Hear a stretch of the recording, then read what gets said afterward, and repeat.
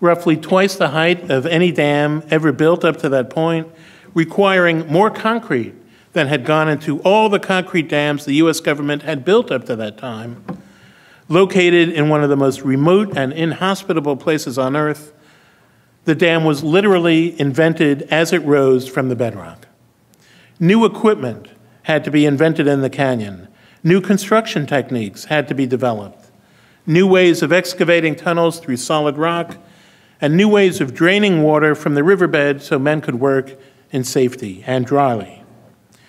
New formulations of concrete had to be devised because mass concrete had never been subjected to the stresses and strains that this dam would undergo. And a new technique of cooling the concrete, which emits heat as it cures, had to be developed because otherwise that dam would still be cooling today and for another 100 years from now. A process that would create cracks all throughout the structure and, and weaken it and eventually possibly destroy it. And I write about all that in my book, so I don't want to go into too much detail. Now, to learn all this new chemistry, the government established the first national laboratories in our history.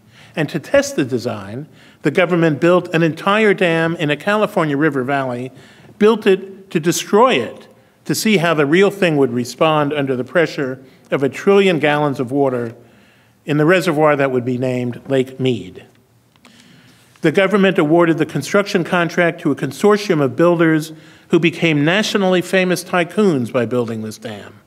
Among them, heretofore little known men named Henry Kaiser and Warren Bechtel. The builders constructed their own hospital in Boulder City, which was the work camp that was built by the government for the workers and their families. They constructed their own hospital and they charged the workers a few dollars a month for medical care a system that many years later became familiar to us all as Kaiser Permanente. Now, this chapter of the dam's history brings us to September 30th, 1935, 75 years ago, when Franklin Roosevelt personally came out to the canyon, propped himself up on a makeshift lectern under 120 degree heat at a point that's now occupied by a big copper colored visitor center that many of you may have seen and before 10,000 spectators and 20 million listeners on a nationwide radio hookup, he dedicated the dam, conceived, approved, and launched by his Republican predecessors. He dedicated it in the name of the New Deal.